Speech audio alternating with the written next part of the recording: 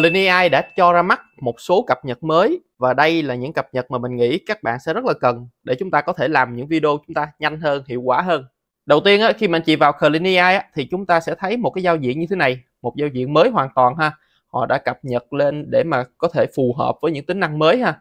Để mà sử dụng thì chúng ta bấm vào Create ha và chúng ta đăng nhập một tài khoản vào.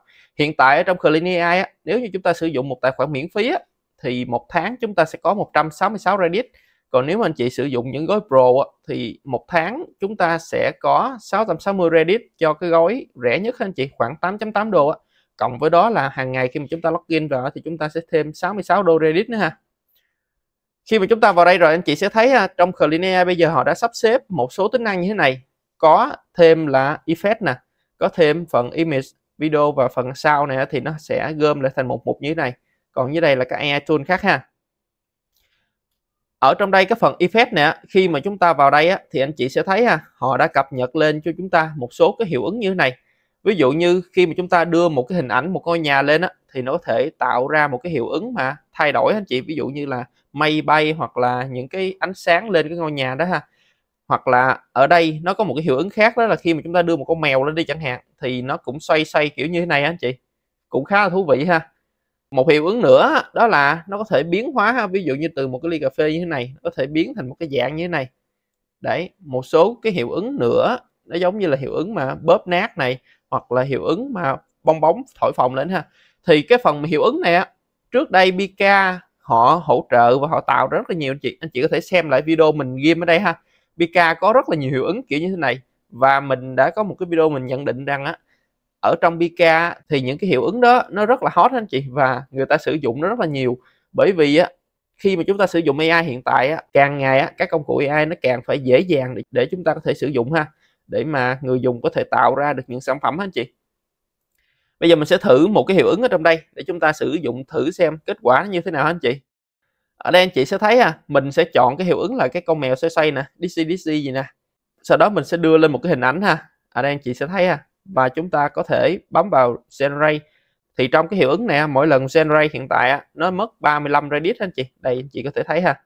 35 Reddit thì nó cũng khá là nhiều đó chứ không phải là ít. Tương đương với tạo một video 5 giây professional anh chị. Và chúng ta sẽ xem thử kết quả như thế nào ha. Ở đây chúng ta đã có kết quả đây. Thì hiệu ứng này thì nó sẽ cho nhân vật xoay vòng anh chị những cái hiệu ứng mà dạng mà họ đã build sẵn như thế này á, thì chúng ta sử dụng rất là dễ ha. Chúng ta đã có những cái hình demo như thế nào chúng ta nhìn là chúng ta biết ngay nó sẽ hoạt động như thế nào anh chị? Cũng khá là phù hợp để mà chúng ta có thể sử dụng để chúng ta tạo ra những video ha. Nhưng mà lần cập nhật mới nhất ở trong đây á mình thấy mà hay nhất ở trong Clean AI á, đó là khả năng tạo ra âm thanh anh chị? Trước đây nếu mà chúng ta sử dụng âm thanh á, thì chúng ta sẽ sử dụng Suno AI để chúng ta tạo ra âm thanh. Còn những cái video ví dụ như là một cái video chúng ta làm ở trong Clean AI nó không có âm thanh chúng ta muốn tạo phần âm thanh á, thì anh chị có thể sử dụng công cụ là Mimic PC hôm trước mình có làm một cái video mình đánh giá về công cụ đó, đó. có khá là nhiều tính năng ở trong cái Mimic PC đó. Mình sẽ ghim lại trong phần mô tả video ha. Anh chị kéo xuống dưới anh chị sẽ thấy ha. Thì cơ bản của cái tính năng này á đó là khi mà chúng ta đưa một cái video đơn giản lên thì nó sẽ tạo ra cho chúng ta những cái phần âm thanh anh chị. Ví dụ anh chị sẽ thấy ở đây mình có một cái video người và khi mà mình đưa lên đây á, thì tự động nó sẽ tạo ra phần âm thanh cho mình ha. Ví dụ như thế này.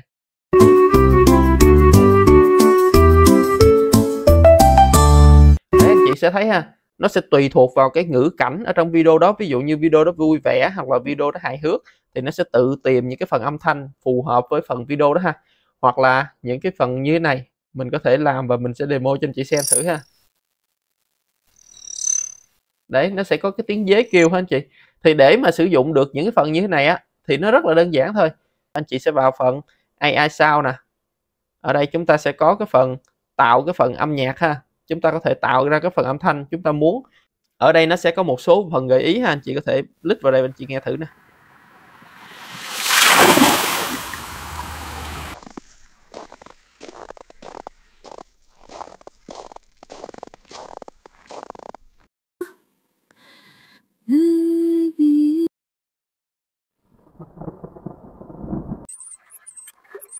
Ở đây chúng ta sẽ có những cái âm thanh như thế này ha anh chị? Tức là nó sẽ tạo ra cho chúng ta những cái hiệu ứng âm thanh hoặc là những cái tiếng của động vật kêu á, nó khác với cái phần Suno AI. Suno AI thì chúng ta sẽ tạo cái phần nhạc có lời hoặc là không có lời ha. Chúng ta có thể gõ phần ROM trong đây, còn nếu mà anh chị chưa biết các phần ROM như thế nào, anh chị có thể bấm vào phần DeepSeek nè, và chúng ta có thể mô tả ha.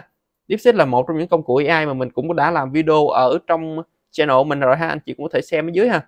Thì đây là một trong những AI chatbot của Trung Quốc và họ tích hợp vào đây ha anh chị. Clean AI cũng là một trong những AI của Trung Quốc và họ tích hợp phần DeepSeek vào đây để chúng ta có thể dễ dàng chúng ta viết phần prompt ha. Ví dụ như bây giờ mình muốn viết là một cái tiếng dế kêu đi chẳng hạn thì nó sẽ tạo cho mình ha. Để anh chị mình mô tả như thế này thì nó sẽ viết ra phần prompt mà chị chỉ cần nhấp phần use prompt ha thì nó sẽ hiển thị lên đây. Khi mà chúng ta muốn tạo cái phần âm thanh đó, thì anh chị chỉ cần bấm vào phần generate ha thì nó sẽ bắt đầu nó tạo ra phần âm thanh cho chúng ta còn giả sử mà khi mà chúng ta đã có một video rồi chúng ta muốn tạo phần âm thanh đó, thì anh chị có thể bấm vào phần select history ha. Thì nó sẽ chọn những phần video nào mà anh chị đã tạo ở trong Clean AI ha. Thì chúng ta có thể chọn bất kỳ một cái video nào đấy và nó sẽ tự tạo âm thanh cho chúng ta ha. Ví dụ như đây mình có một cái video về tiếng trống đồng đi thì mình sẽ chọn cái video như thế này. Nếu như chúng ta sử dụng video như thế này á, thì anh chị sẽ xóa cái phần rơm ở trên đây ha. Và chúng ta có thể để cho Clean AI tự động viết phần rơm ha. Anh chị chỉ cần bấm vào nút replace nè thì nó sẽ hiển thị ra những cái phần mô tả của cái phần âm thanh tương ứng với video đó ha. Tức là cái này là Clean AI tự động viết ha, chúng ta sẽ không cần viết. Còn nếu như anh chị muốn thay đổi thì anh chị cũng có thể điền cái phần ROM vào đây ha. Tiếng Việt hay tiếng Anh hay là bất kỳ thứ tiếng nào thì nó cũng sẽ hiểu được ha. Khi mà chúng ta điều chỉnh phần ROM đây rồi anh chị cũng chỉ cần bấm vào generate ha. Thì chúng ta sẽ thấy cái phần kết quả chúng ta nằm ở đây. Ví dụ như khi mà chúng ta tạo phần âm thanh đơn lẻ thì nó sẽ tạo cho chúng ta bốn cái phiên bản và anh chị có thể nghe thử đây ha. Đây là tiếng giới kêu hả anh chị? Đấy, rất là đơn giản ha.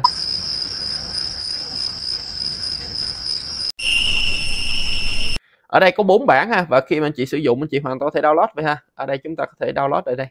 Chúng ta có thể download dạng MP3 hoặc là cái dạng mà lossless luôn ha anh chị, tức là cái chất lượng cao thì chúng ta đều có thể sử dụng được ha.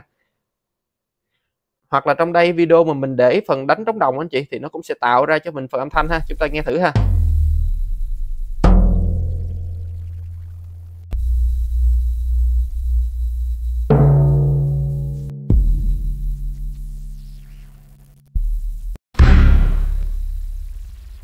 Để chúng ta có thể nghe thử được kết quả ha. Hoặc là một số video khác mình cũng tạo rồi thì anh chị có thể xem thêm đây ha. Ví dụ như những video như thế này. Đó, nó sẽ có những cái âm thanh như vậy hả anh chị. Để mà làm được những video như thế này ở trước đây nếu mà chúng ta tạo ra những video bình thường á, thì nó không có âm thanh thì chúng ta cần phải tìm những âm thanh phù hợp ha. Thì đó là một trong những cái công đoạn mà khá là mất thời gian anh chị đối với những phân cảnh lớn á, thì chúng ta có thể chọn những phần âm thanh và chúng ta chọn những phần hiệu ứng á, nó phù hợp. Còn đối với nhột số phân cảnh nhỏ nhỏ thôi những phân cảnh mà đềm á, thì chúng ta khá là mất thời gian để chọn. Thì công cụ Clean AI nè nó có thể giúp đỡ chúng ta tạo ra một cái video kiểu như này và nó cũng khá là phù hợp ha. Nhưng mà hiện tại á, thì nó đang có một cái hạn chế á, chị đó là chúng ta chưa có thể đưa cái video bên ngoài vào ha. Hiện tại chúng ta mới sử dụng được cái video tạo từ trong Clean AI thôi anh chị đây là những video mà mình sử dụng ở trong Clean AI ha. Chúng ta chưa có thể upload một video bên ngoài vào. Mình nghĩ là thời gian sắp tới thì họ sẽ bổ sung và họ có thể làm những video bên ngoài vào ha. Còn hiện tại nếu mà anh chị muốn sử dụng video bên ngoài thì anh chị có thể sử dụng công cụ là Mimic PC mình sẽ để dưới phần mô tả anh chị xem thêm ha.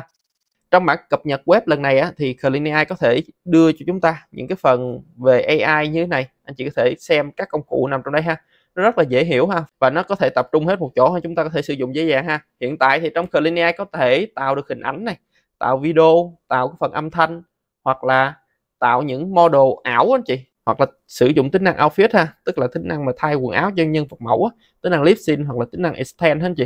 Extend tức là video góc chúng ta có một đoạn và chúng ta muốn mở rộng nó thêm á, thì trong Clean AI hiện tại cũng có thể làm được ha.